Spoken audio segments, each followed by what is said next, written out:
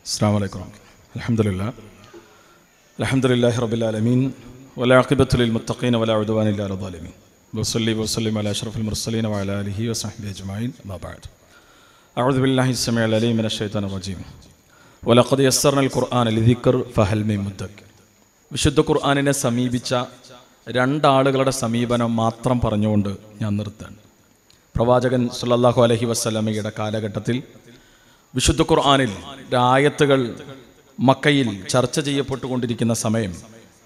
വിശുദ്ധ ഖുർആാനിലെ ഏറ്റവും ചെറിയ സൂറ സൂറത്ത് കൗസർ അവിടെയുള്ള സഹാബിവര്യന്മാർ കഅബയുടെ കില്ലയിൽ എഴുതി തൂക്കിയിട്ടു.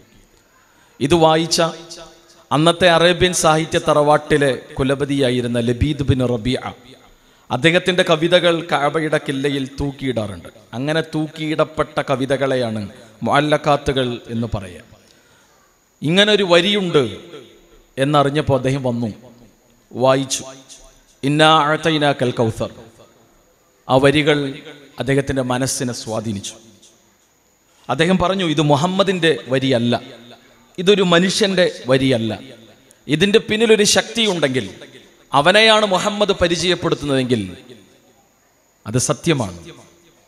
മരണം എന്ന സത്യം എന്നെ പുൽകുന്നതിന് മുമ്പ് ഈ സത്യം തിരിച്ചറിയാനുള്ള സൗഭാഗ്യം നൽകിയ അള്ളാഹുവെ നിനക്കാണ് സർവസ്തുതിയും എന്ന അർത്ഥ താല്പര്യം ഉൾക്കൊള്ളുന്ന ഒരു കവിതാശകലവും ചൊല്ലി അദ്ദേഹം.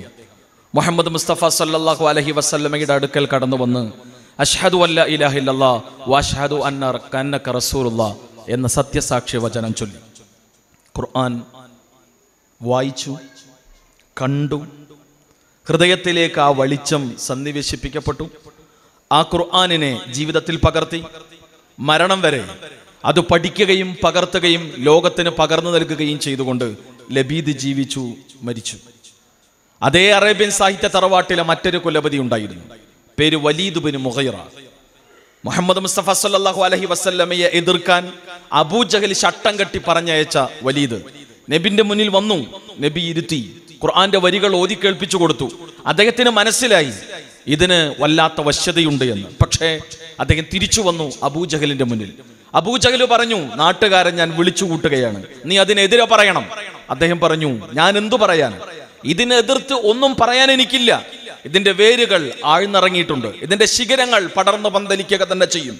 ഇതിന്റെ മുന്നിൽ പിടിച്ചു നിൽക്കാൻ ഒന്നിനും കഴിയില്ല. അബൂജഹൽ ഭീഷണിപ്പെടുത്തി. പ്രലോഭനങ്ങൾ ഭീഷണികൾ ഒടുവിൽ വഴങ്ങി. ഖുർആൻ നമുക്ക് പറഞ്ഞു തന്നു. സുമ്മ നലർ സുമ്മ അബസ അവൻ അവന്റെ മുഖം ചുളിച്ച് ഒന്ന് കടുപ്പിച്ചു. എന്നിട്ട് അവൻ പറഞ്ഞ വർത്തമാനം ഇൻഹാദ ഇല്ല യുസർ ഇത് കേവലം സിഹറാണ്. ഇത് കേവലം കൗലുൽ ബഷർ മനുഷ്യന്റെ വാക്ക് മാത്രമാണ് എന്നാണ് അള്ളാഹുവിന്റെ വാക്കിനെ കുറിച്ചും വലീദ് ബിനു മുഗീറ പറഞ്ഞത്. അതിന് അല്ല നൽകിയ മറുപടി അവനവിട് വമൻ ഖലഖ്തു വഹീദ." അവനെ വിട് ഞാൻ ഒറ്റയ്ക്ക് കൈകാര്യം ചെയ്യുമെന്നാണ് അള്ളാഹു അവന്റെ നിലപാടിനെ കുറിച്ച് അല്ല സംസാരിച്ചത്. സക്കർ നരകത്തിലിട്ട് നാം അവനെ കരിച്ചരിച്ചെടുക്കുമെന്നാണ് അള്ളാഹുവിന്റെ പ്രഖ്യാപനം. നമുക്ക് തീരുമാനിക്കാം.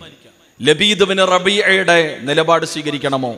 വലീദുബിന് മുഹയറയുടെ നിലപാട് സ്വീകരിക്കണമോ എന്ന്? വിശുദ്ധ ഖുർആാനിന്റെ ഈ പഠന പദ്ധതി നമുക്കിടയിൽ ഉണ്ടാക്കിയ സ്വാധീനം വല്ലാത്തതാണ്.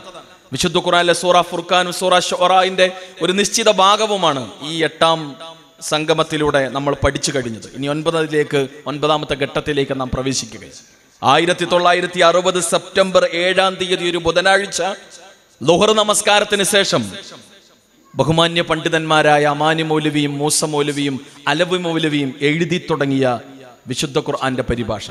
തൊള്ളായിരത്തി അറുപതിൽ കെ എം മൗലവി സാഹിബ് പറയുന്നുണ്ട് പാലക്കാടുള്ള ഒലവക്കോട്ടിലുള്ള കെ പി മുഹമ്മദ് സാഹിബാണ് ഇതുപോലുള്ള ഒരു വ്യാഖ്യാന ഗ്രന്ഥം വേണമെന്ന് പറഞ്ഞൊരു കത്ത് അന്നത്തെ ഇസ്ലാഹി കാരണവരായ കെ എം മൗലവിക്ക് ആ കത്ത് കിട്ടുന്നത്.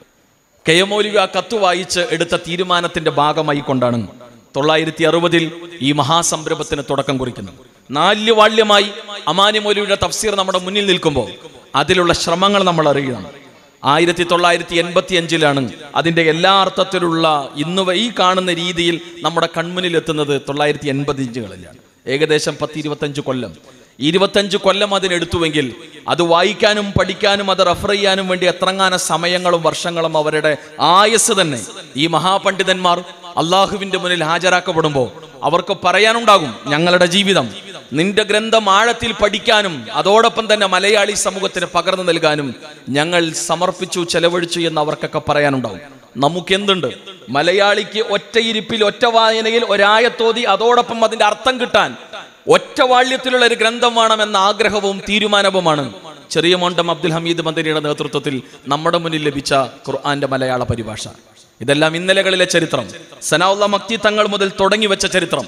ഉമർ മൗലവി അടക്കം ഖുർആന്റെ പരിഭാഷ നമുക്ക് പകർന്നു നൽകിയിട്ടുണ്ട്. കാലങ്ങൾ ഒരുപാട് കഴിഞ്ഞു.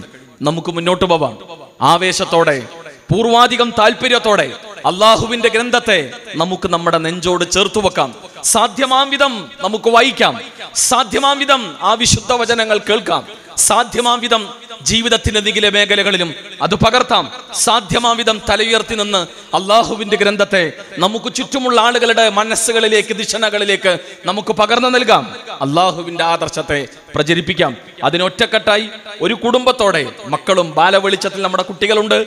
വെളിച്ചം പഠന പദ്ധതികളിൽ രക്ഷിതാക്കളുണ്ട്. അങ്ങനെ കുടുംബത്തിൽ എല്ലാവരും ഒറ്റക്കെട്ടായി ഒരുമിച്ച് അള്ളാഹുവിന്റെ ഗ്രന്ഥത്തെ ചേർത്ത് പിടിച്ച് മുന്നോട്ട് പോവാൻ നമുക്കിത് സഹായകമാകണം. ഇതൊരു വെളിച്ചമായി നമ്മുടെ കുടുംബത്തിലും സമൂഹത്തിലും നിലനിൽക്കട്ടെ. അള്ളാഹു അനുഗ്രഹിക്കുമാറാകട്ടെ. വസല്ലാഹു അല മുഹമ്മദ് വഅല ആലിഹി വസഹബി അജ്മഈൻ. വൽഹംദുലില്ലാഹി റബ്ബിൽ ആലമീൻ.